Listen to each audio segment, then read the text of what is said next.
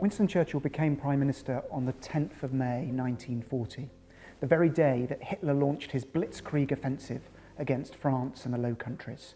The new Prime Minister had to watch as the British Expeditionary Force was evacuated from the beaches of Dunkirk. Paris fell, the French sought terms, and Britain faced the possibility of direct attack and even invasion.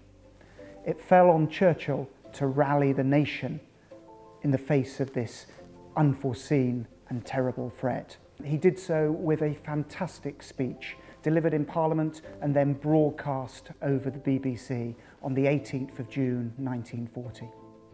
The way that Churchill worked was to dictate his speeches.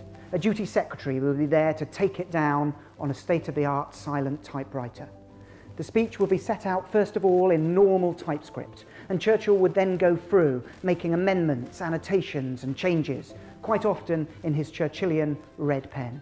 Then, when the speech was more or less in its final format, it would be taken away and retyped, retyped in this format, at this size, so that it fitted comfortably into his hand or pocket, and set out on the page in this blank verse format, which gave him the rhythm, the emphasis, and the pauses for his great oratory.